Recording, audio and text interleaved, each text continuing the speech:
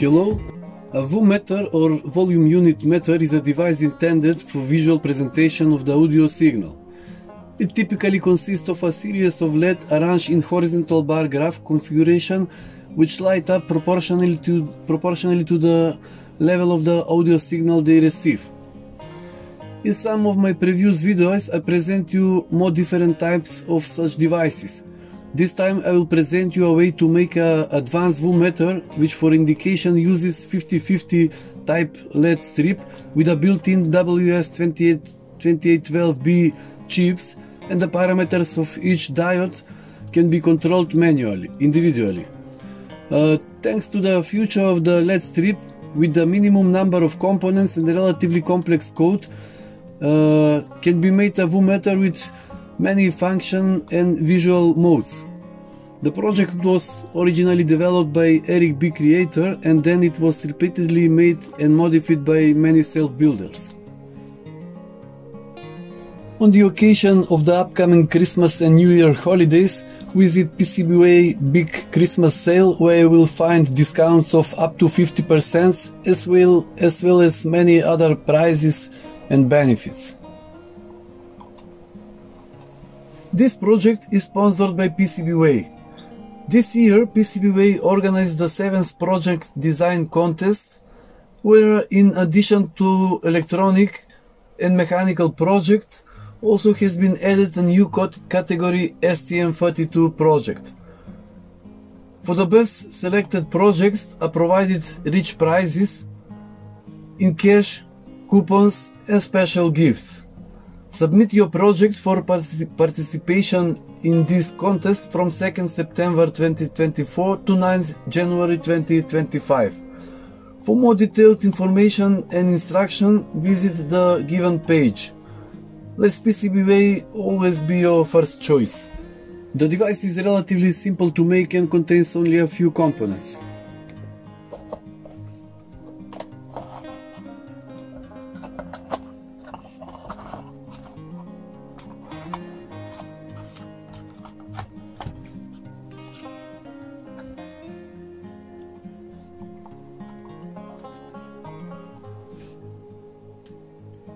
Arduino, Arduino Nano microcontroller board. Next, 10 kilo ohm resistors, 5 pieces. Two potentiometers, 10 kilo ohms. Two buttons. One switch. Next, audio input jacks and WS2012 2812 B LED strip with each with 50 LEDs, total 100 LEDs. As you can see the control part and LEDs uh, and LED strips are placed in the separate box in order to have better visibility during the presentation of this device. Always my original idea is that the control part will be built into the box with the LED strips and the potentiometers and buttons Uh, will be on the back of the box and the width of the box would be standard 19 inch to fit a part of the whole audio system. Based on this dimension the number of LEDs in the strip would be adjusted. The code is highly customizable and, it, and all important settings are commented out. So we can easily adjust according to our current conditions.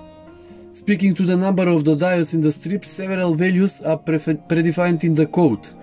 If the project requires us to have a different number of diodes than those preferred in the code, as in my case, where I have 50 diodes per channel, then we simply cut the strip to the required number and in the code we uncomment the line where the more diodes are defined.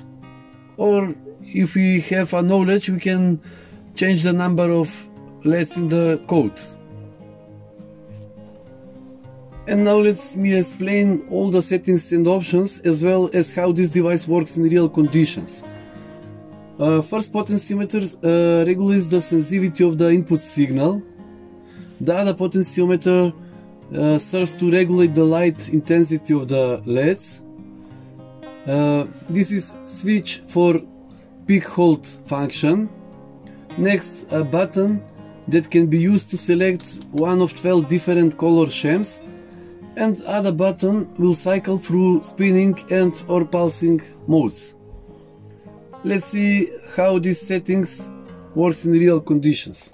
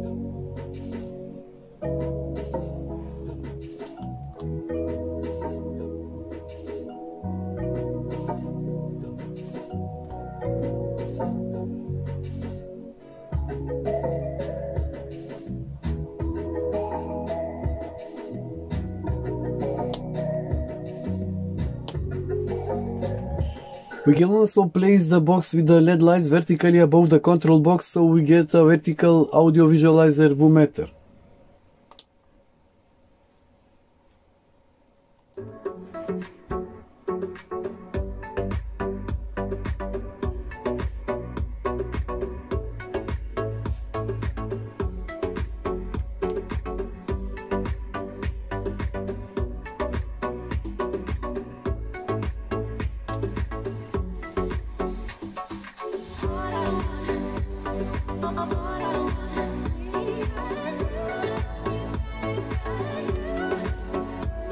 Next, I would like to show you visually effective and very unusual way to displaying signal strength. Now instead, now instead of a LED strip, we will use a LED ring with 60 LEDs. Also in the code we need to deselect the line where is defined the Vumeter on single 60 LED strip.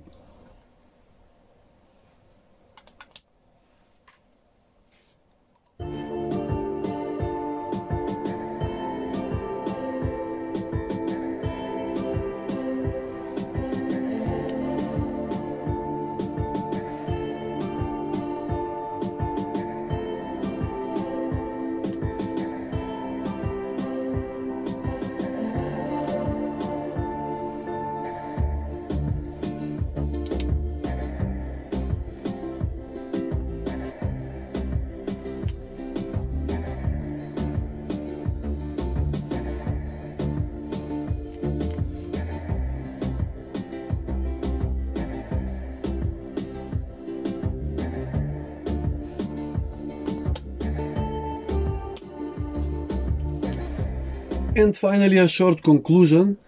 This is probably the most advanced LED Vumeter for which you can find detailed documentation on the internet. Despite the many options and customization possibilities, it is extremely simple to make and contains a minimal number of components. When you see it live, it has a beautiful visual effect and I recommend it to any audiophile as an addition to the audio system. I mount the device in a suitable case made of PVC board with a thickness of 5mm and covered with a color celt adhesive wallpaper.